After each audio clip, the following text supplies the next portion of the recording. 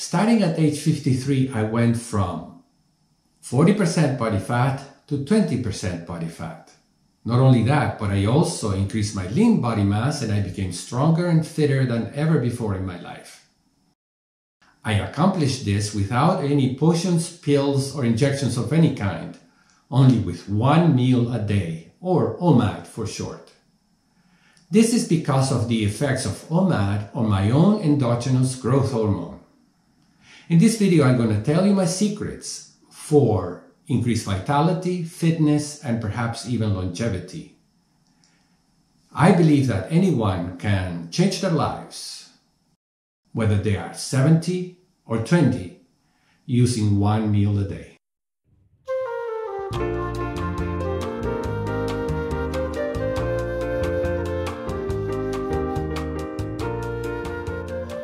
Hello everyone, this is Juan Sarmiento. Through my early years of OMAD, I noticed an increase in my endurance and a strange and newfound love for workouts. Early on, I thought that the push up pyramid routine was making me strong fast. But there was one more secret hidden behind my OMAD regimen I could not have known back then.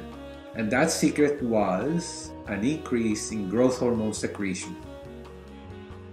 Here is my own single feeding cycle. The green color represents satiety and the red color represents hunger. To be clear, I'm including a representation in dark blue for my sleeping hours and in bright yellow for my wake hours.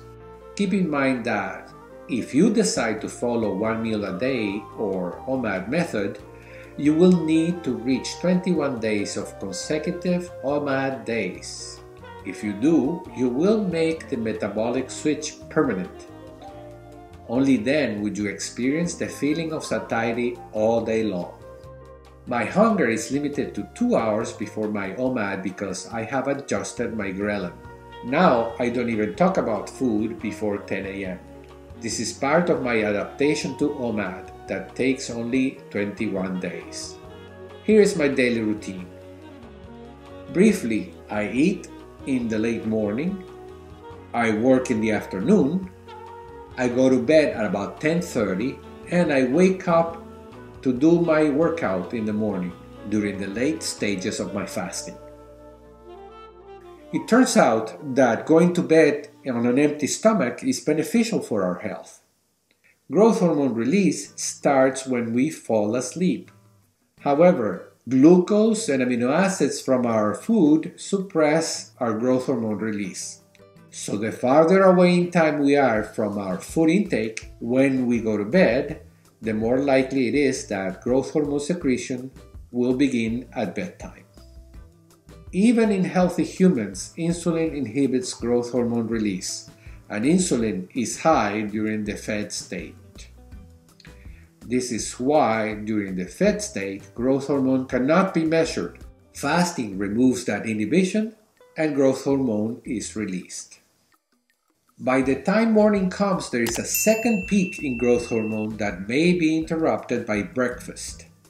Delaying breakfast to after a workout may turn to promote human growth hormone activity. The benefits of human growth hormone are multiple. Early in the morning, when our sugar is low, growth hormone increases production of glucose in the liver, to accomplish this, the liver uses non-carbohydrate sources like amino acids from muscle and fatty acids from our body fat. You may say that the liver makes us breakfast. Then glucose is released into the bloodstream. Even while fasting, our blood glucose levels are maintained at a safe level. We really don't need breakfast for energy this process is called gluconeogenesis. Human growth hormone helps increase the mobilization of fat from our body fat so that it can be used for the production of energy. This helps make the metabolic switch. Human growth hormone indirectly spares the muscle and protein that could otherwise be used for energy. But the human growth hormone also promotes muscle mass growth that increases strength and performance. Together with routine workouts, growth hormone helps increase vitality with age. Young men may perform better in the gym and look better in the swimming pool. Keeping human growth hormone levels high will prevent changes common among aging men, including decreased lean body mass, expansion of adipose tissue mass, and thinning of skin of old age.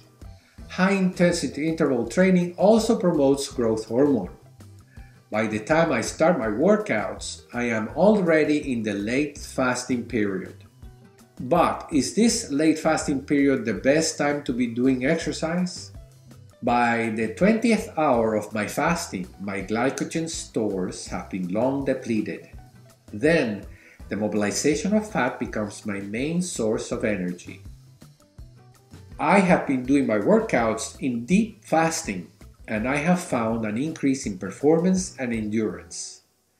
Using fat stores for energy has two great benefits.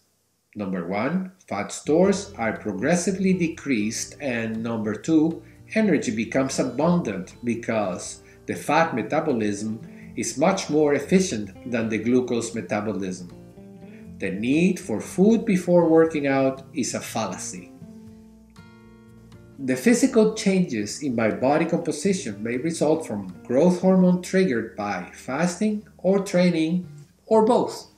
Growth hormone administration, however, may not result in improved muscle strength and function. These are the result of my resistance and endurance training. These benefits come from real effort. Growth hormone administration results in increased lean body mass and decreased fat mass in older persons.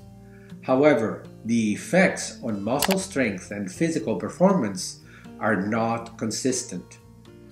There has been a lot of interest in administration of growth hormone to increase longevity, but results so far have been disappointing, with few documented benefits and many troublesome side effects.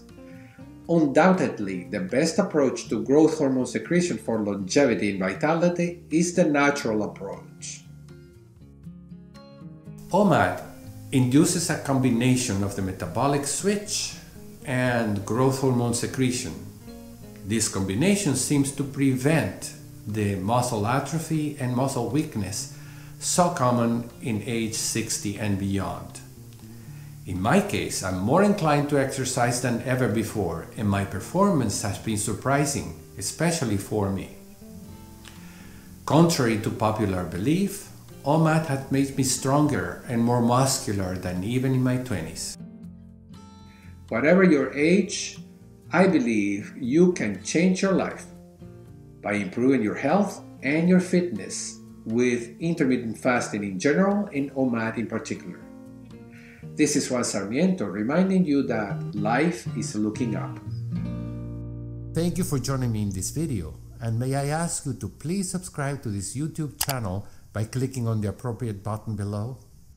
Once you have done so, also click on the bell so you are notified of all future videos coming up on this channel. In addition, if you enjoyed the video and find it useful, please give it a thumbs up. Help me spread the good news about OMAD by sharing this video with your family and friends. Thank you.